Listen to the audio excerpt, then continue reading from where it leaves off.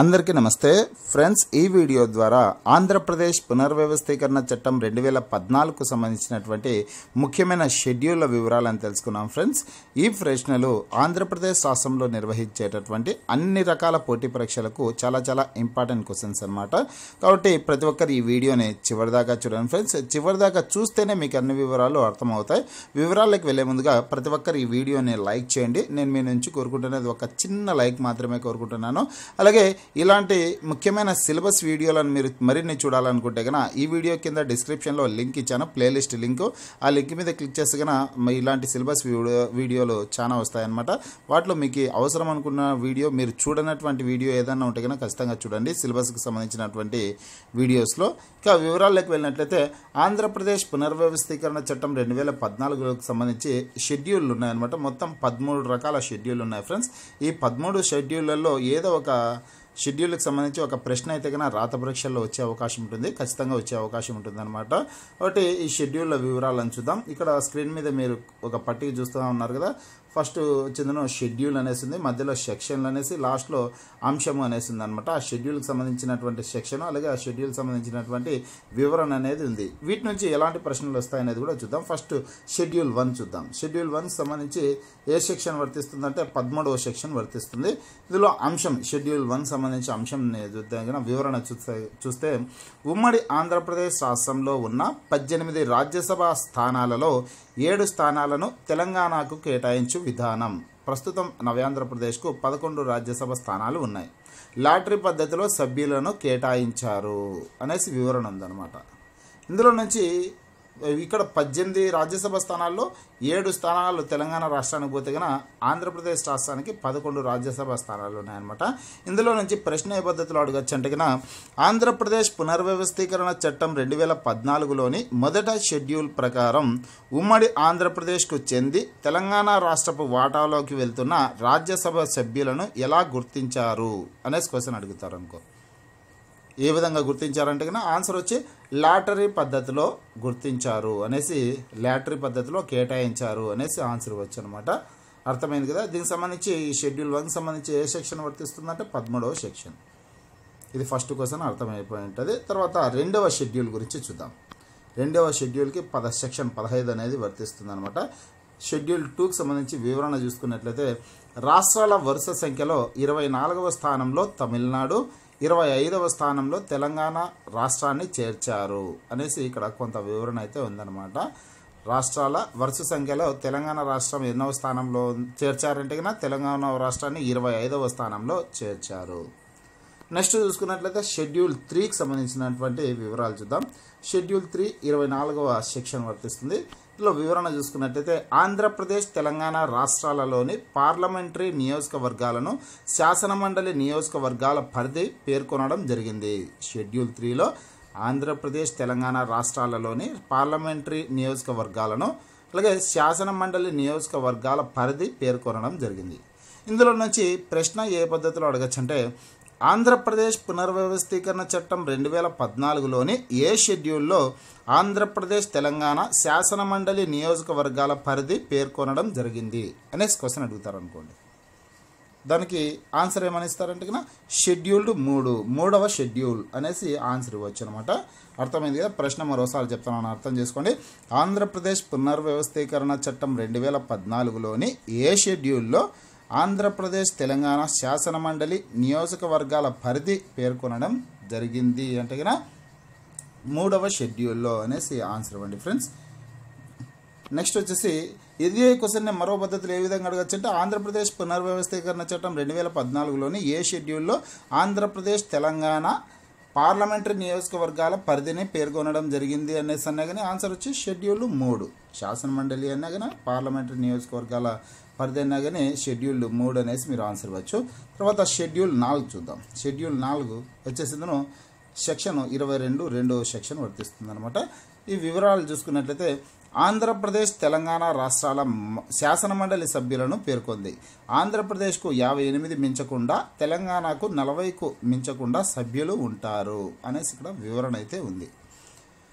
ఇక ఈ అంశం నుంచి ఈ షెడ్యూల్ ఫోర్కి సంబంధించి ఎలాంటి ప్రశ్న అడగచ్చు అంటే ఆంధ్రప్రదేశ్ పునర్వ్యవస్థీకరణ చట్టం రెండు వేల పద్నాలుగులోని ఏ షెడ్యూల్లో ఆంధ్రప్రదేశ్కు యాభై ఎనిమిది మించకుండా తెలంగాణకు నలభై నలభై మంది మించకుండా శాసనమండలి సభ్యులు ఉండాలని పేర్కొంది అనేసి క్వశ్చన్ అడుగుతారు. దానికి ఆన్సర్ వచ్చి షెడ్యూల్ నాలుగు అనేసి ఆన్సర్ ఇచ్చే ఇవ్వాల్సి ఉంటుందన్నమాట. అంటే ఈ క్వశ్చన్ని ఏ పద్ధతిలో అడిగినా కానీ మీరు ఆన్సర్ తెలుసుకోండే విధంగా ఉండాలి. ఫ్రెండ్స్ ఇప్పుడు నేను చెప్పే క్వశ్చన్ రాకపోవచ్చు. దాన్ని తిప్పించి మళ్ళీ ఏ విధంగా ఇచ్చినా కానీ మీరు ఆన్సర్ చేసే విధంగా ఉండాల్సి ఉంటుంది అనమాట ఆంధ్రప్రదేశ్ రాష్ట్రానికి ఎన యాభై ఎనిమిది మించకోకుండా శాసన మండలి సభ్యులను ఏర్పరచుకోవచ్చు. అలాగే తెలంగాణ రాష్ట్రంలో నలభైకి మించుకోకుండా శాసన మండలి సభ్యులను పెట్టుకోవచ్చు అనమాట నెక్స్ట్ వచ్చేసి షెడ్యూల్ ఫైవ్ చూద్దాం. షెడ్యూల్ ఫైవ్ వచ్చేసి ఇరవై ఎనిమిదవ సెక్షన్ వర్తిస్తుంది. ఇంకా షెడ్యూల్ ఫైవ్కి సంబంధించి వివరణ చూసుకున్నట్లయితే తెలంగాణ రాష్ట్రంలో షెడ్యూల్ కులాలను సూచిస్తుంది. ఏపీకు చెందిన బేడ బుడగ బుడగజంగంను జాబితా నుండి తొలగించారు అనేసి ఇక్కడ వివరణ అయితే ఉంది. ఇందులో ప్రశ్న ఏ విధంగా అడగచ్చు అంటే ఆంధ్రప్రదేశ్ పునర్వ్యవస్థీకరణ చట్టం రెండు వేల పద్నాలుగు ప్రకారం తెలంగాణ రాష్ట్రంలోని షెడ్యూల్ కులాలను సూచించే షెడ్యూల్ ఏది అనేసి క్వశ్చన్ అడగచ్చు. షెడ్యూల్ కులాలను సూచించే షెడ్యూల్ ఏది అంటే ఆన్సర్ వచ్చి షెడ్యూల్ ఫైవ్ లేదా ఐదవ షెడ్యూల్ అనేసి ఆన్సర్ ఇవ్వండి. అర్థమైంది కదా? నెక్స్ట్ షెడ్యూల్ ఆర్ చూద్దాం. షెడ్యూల్ ఆరుకు సంబంధించింది ఇరవై తొమ్మిదవ సెక్షన్ వర్తిస్తుంది అనమాట ఆరవ షెడ్యూల్కి. ఈ ఆరవ షెడ్యూల్ యొక్క వివరణ చూసుకున్నట్లయితే తెలంగాణ రాష్ట్రంలోని షెడ్యూల్ తెగలను సూచిస్తుంది. ఐదవ షెడ్యూల్ వచ్చేసి తెలంగాణ రాష్ట్రంలోని షెడ్యూల్ కులాలను సూచిస్తుంది. ఆరవ షెడ్యూల్ వచ్చి తెలంగాణ రాష్ట్రంలోని షెడ్యూల్ తెగలను సూచిస్తుంది అనమాట ఇందులో నుంచి ప్రశ్న ఏ విధంగా అడగొచ్చు అంటే ఆంధ్రప్రదేశ్ పునర్వ్యవస్థీకరణ చట్టం రెండు వేల పద్నాలుగు ప్రకారం తెలంగాణ రాష్ట్రంలోని షెడ్యూల్ తెగలను సూచించే షెడ్యూల్ ఏది అనేసి క్వశ్చన్ అడగచ్చు. దానికి ఆన్సర్ వచ్చి ఆరవ షెడ్యూల్ అనేసి ఆన్సర్ ఇవ్వండి. నెక్స్ట్ ఏడవ షెడ్యూల్ సంబంధించినటువంటి వివరాలను చూద్దాం. ఈ ఏడవ షెడ్యూల్కి వచ్చి యాభై రెండవ సెక్షన్ వర్తిస్తుంది. ఇక్కడ ఏడవ షెడ్యూల్లో ఉన్నటువంటి వివరాలను చూసుకున్నట్లయితే భవిష్య నిధులు అంటే ప్రావిడెంట్ ఫండ్స్ అనమాట పెన్షన్ ఫండ్స్ బీమా ఫండ్ల గురించి తెలుపుతుంది. B sinking fund guarantee redemption fund reserve ఫండ్ల గురించి తెలుపుతుంది. సి వచ్చేసి ఇతర నిధుల గురించి తెలుపుతుంది అనేసి ఇక్కడ కొంత వివరణ అయితే ఉంది. భవిష్య నిధి అంటే కన్నా ఈపీఎఫ్ ఉంటుంది కదా ఎంప్లాయీస్ ప్రావిడెంట్ ఫండ్స్కి సంబంధించి పెన్షన్ ఫండ్స్కి సంబంధించి బీమా ఫండ్ల గురించి ఈ షెడ్యూల్ ఏడు అనేది తెలుపుతుంది అనమాట ఇంకా ఇందులో నుంచి ప్రశ్న ఏ విధంగా అడగచ్చు అంటే ఆంధ్రప్రదేశ్ పునర్వ్యవస్థీకరణ చట్టం రెండు వేల పద్నాలుగు ఏడవ షెడ్యూల్లో ప్రావిడెంట్ ఫండ్స్ బీమా ఫండ్స్ పెన్షన్ ఫండ్స్ రిజర్వ్ వంటివి మొత్తం ఎన్ని ఫండ్లు ఎన్ని ఫండ్స్ వివరాలను తెలియజేస్తుంది అనేసి క్వశ్చన్ అడుగుతారు. అర్థమవుతోందా? ఇంకోసారి చెప్తాను చూడండి. ఆంధ్రప్రదేశ్ పునర్వ్యవస్థీకరణ చట్టం రెండు వేల పద్నాలుగు ఏడవ షెడ్యూల్లో ప్రావిడెంట్ ఫండ్స్ బీమా ఫండ్స్ పెన్షన్ ఫండ్స్ రిజర్వ్ వంటివి మొత్తం ఇలాంటి ఫండ్స్ ఇలాంటి మొత్తం ఎన్ని ఫండ్ల వివరాలను తెలియజేస్తుంది ఈ షెడ్యూల్ అనేసి ఇక్కడ ప్రశ్న అయితే ఉంటుందన్నమాట. ఇక్కడ ఈ వివరణలో ఇక్కడ ఉన్నటువంటి వివరణలో అంశం అయితే లేదు. నేను చెప్తున్నా ఆన్సర్ వచ్చేసి మొత్తం అరవై తొమ్మిది ఫండ్స్ వివరాలను తెలియజేస్తాం ఫ్రెండ్స్. మొత్తం అరవై తొమ్మిది ఫండ్స్ వివరాలను తెలియజేస్తుంది. ఈ పాయింట్ని నోట్ చేసుకోండి వీలైతే. అరవై తొమ్మిది ఫండ్స్ వివరాలు. నెక్స్ట్ షెడ్యూల్ ఎనిమిది చూద్దాం.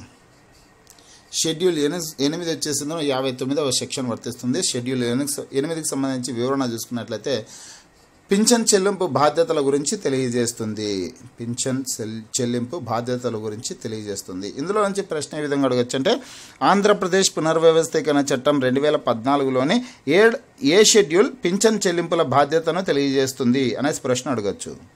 దానికి ఆన్సర్ వచ్చేసి ఎనిమిదవ షెడ్యూల్ అనేసి ఆన్సర్ ఇవ్వండి. తర్వాత తొమ్మిదవ షెడ్యూల్ సంబంధించినటువంటి వివరాలను చూద్దాం. తొమ్మిదవ షెడ్యూల్కి అరవై ఎనిమిది డెబ్బై ఒకటి డెబ్బై ఐదు సెక్షన్లు వర్తిస్తాయన్నమాట. సారీ తొమ్మిదవ షెడ్యూల్కి అరవై ఎనిమిది డెబ్బై ఒకటి సెక్షన్లు వర్తిస్తాయన్నమాట. ఈ తొమ్మిదవ షెడ్యూల్ సంబంధించినటువంటి వివరణ చూసుకున్నట్లయితే ప్రభుత్వ కంపెనీలు కార్పొరేషన్ల జాబితాను పేర్కొనడం జరిగింది. వీటి సంఖ్య తొంభై ఒకటి అనేసి ఇక్కడ వివరణ అయితే ఉందన్నమాట. ఇందులో నుంచి ప్రశ్న ఏ విధంగా అడగొచ్చంటే ఆంధ్రప్రదేశ్ పునర్వ్యవస్థీకరణ చట్టం రెండు వేల పద్నాలుగు ప్రకారం ఏ షెడ్యూల్లో ప్రభుత్వ కంపెనీలు కార్పొరేషన్ల వివరాలు తెలు తెలుపడం జరిగింది అనేసి క్వశ్చన్ అడగచ్చు. దానికి ఆన్సర్ వచ్చి తొమ్మిదవ షెడ్యూల్ అనేసి ఆన్సర్ ఇవ్వండి.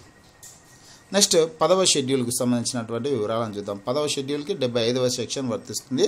వివరణ చూసుకున్నట్లయితే రాష్ట్ర సంస్థలలో సౌకర్యాల కొనసాగింపు గురించి తెలియజేస్తుంది. రాష్ట్ర సంస్థలలో సౌకర్యాల కొనసాగింపు గురించి తెలియజేస్తుంది. సంస్థల జాబితాను పేర్కొనడం జరిగింది. వీటి సంఖ్య నూట నలభై రెండు అనేసి వివరణ ఉందన్నమాట.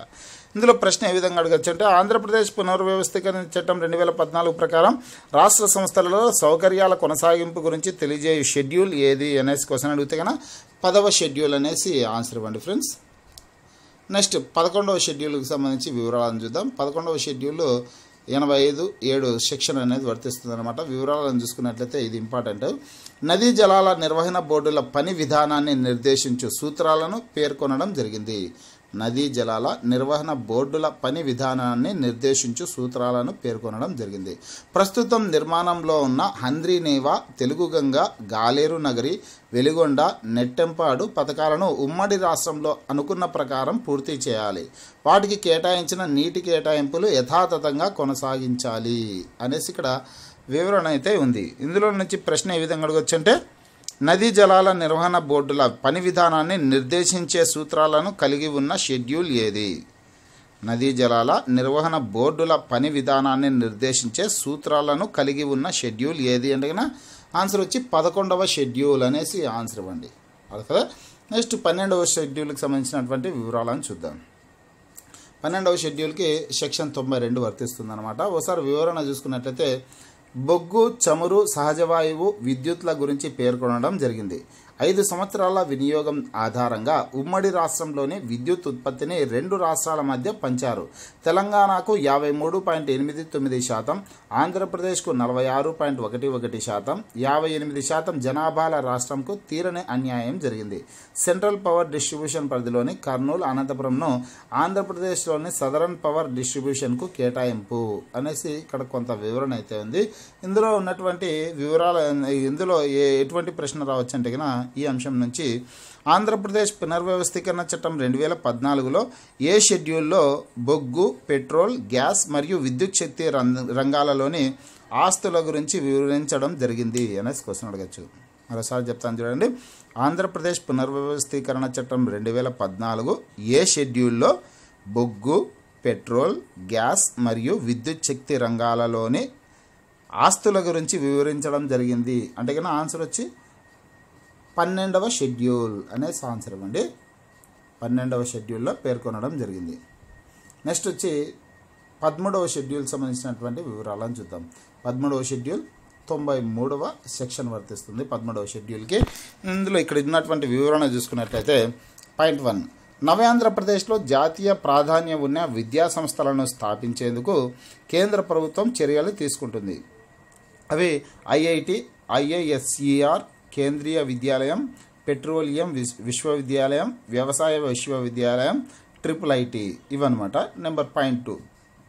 అఖిల భారత విద్యా విజ్ఞాన సంస్థ సూపర్ స్పెషాలిటీ వైద్యశాల. Point three. తెలంగాణ నవ్యాంధ్రప్రదేశ్లో ఒక గిరిజన విశ్వవిద్యాలయం ఏర్పాటు చేయడం.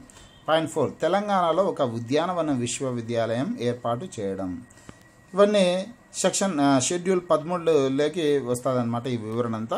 ఇందులో నుంచి ఎలాంటి ప్రశ్నలు అడగచ్చు అంటే షెడ్యూల్ పదమూడు నుంచి ఆంధ్రప్రదేశ్ పునర్వ్యవస్థీకరణ చట్టం రెండు వేల పద్నాలుగులో ఏ షెడ్యూల్లో ఆంధ్రప్రదేశ్ తెలంగాణ రాష్ట్రాలలో ఒక గిరిజన విశ్వవిద్యాలయం ఏర్పాటు చేయాలని వివరించడం జరిగింది అనేసి అడుగుతారు. ఇక్కడ ఇచ్చారు కదా ఇక్కడ పాయింట్ నెంబర్ త్రీ చూడండి.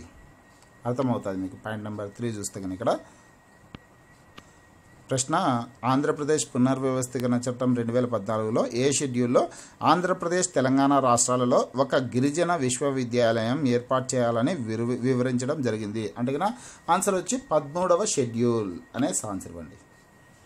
ఇందులో నుంచి మరొక ప్రశ్న ఏ పద్ధతిలో అడగచ్చు అంటే ఆంధ్రప్రదేశ్ పునర్వ్యవస్థీకరణ చట్టం రెండు వేల పద్నాలుగులోని ఏ షెడ్యూల్లో ఏ షెడ్యూల్లో అంతర్నాటి నుండి అవతరణ అవతరణ నాటి నుండి పది ఏళ్ళలోగా రెండు రాష్ట్రాల సుస్థిరాభివృద్ధి కోసం కేంద్ర ప్రభుత్వం అన్ని చర్యలు చేపట్టాలని పేర్కొనబడింది. ఆంధ్రప్రదేశ్ పునర్ పునర్వ్యవస్థీకరణ చట్టం రెండు వేల పద్నాలుగులోని ఏ షెడ్యూల్లో అవతరణ నాటి నుండి పది ఏళ్ళలోగా రెండు రాష్ట్రాల సుస్థిరాభివృద్ధి కోసం కేంద్ర ప్రభుత్వం అన్ని చర్యలు చేపట్టాలని పేర్కొనబడింది అంటే ఆన్సర్ వచ్చి పదమూడవ షెడ్యూల్ అనేసి కూడా ఆన్సర్ ఇవ్వచ్చు అనమాట ఇవి ఫ్రెండ్స్ ముఖ్యమైన షెడ్యూల్ వివరాలు.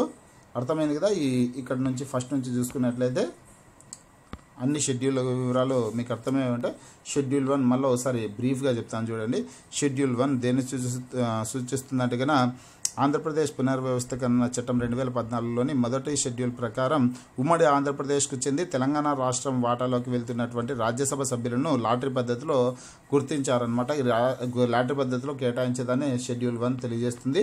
ఇక షెడ్యూల్ టూ వచ్చేసిందను తెలంగాణ రాష్ట్రం ఇరవై ఐదవ స్థానంలో తెలంగాణ రాష్ట్రం ఏర్పడిన దాన్ని సూచిస్తుంది. షెడ్యూల్ త్రీకి సంబంధించి చూసుకున్నట్లయితే కనుక షెడ్యూల్ త్రీ వచ్చేసి ఆంధ్రప్రదేశ్ తెలంగాణ శాసనమండలి నియోజకవర్గాల పరిధి పేర్కొనడం జరిగింది. షెడ్యూల్ త్రీలో షెడ్యూల్ ఫోర్ చూసుకున్నట్లయితే కనుక ఆంధ్రప్రదేశ్కు యాభై ఎనిమిది మించకుండా తెలంగాణకు నలభై మంది మించకుండా శాసనమండలి సభ్యులు ఉండాలనేసి పేర్కొనడం జరిగింది. షెడ్యూల్ ఫైవ్ విషయానికి వస్తే కనుక తెలంగాణ రాష్ట్రంలోని షెడ్యూల్ షెడ్యూల్ కులాలను సూచించే దాన్ని తెలియజేస్తుంది అనమాట షెడ్యూల్ తెలంగాణ రాష్ట్రంలోనే షెడ్యూల్ కులాలను సూచిస్తుంది. అలాగే నెక్స్ట్ వచ్చేసి షె- ఇక్కడ షెడ్యూల్ సిక్స్ చూసుకున్నట్లయితే కనుక తెలంగాణ రాష్ట్రంలోని షెడ్యూల్ తెగలను సూచిస్తుంది.